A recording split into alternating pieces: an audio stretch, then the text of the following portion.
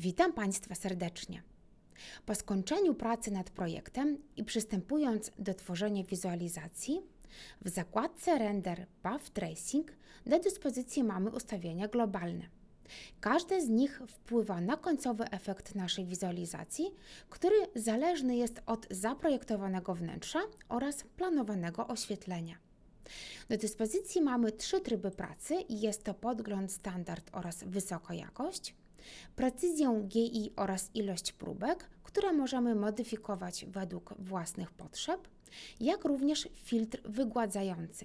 Wpływa on na jakość wyglądu krawędzi obiektów widocznych w kamerze. Jeżeli chodzi o render, włączymy go za pomocą przycisku Start i zaczekamy na pracę urządzenia renderującego. Możemy powiększyć okno i zobaczyć, jak prezentuje się aktualnie nasza wizualizacja.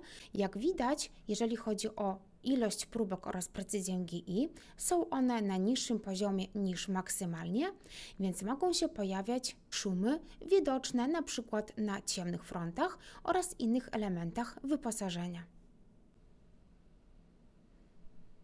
Po zakończeniu pracy rendera widać, że mamy dużo niedoskonałości.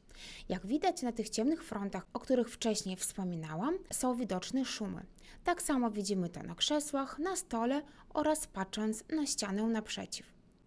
Takie zdjęcie możemy wygładzić za pomocą checkboxu redukcja szumu.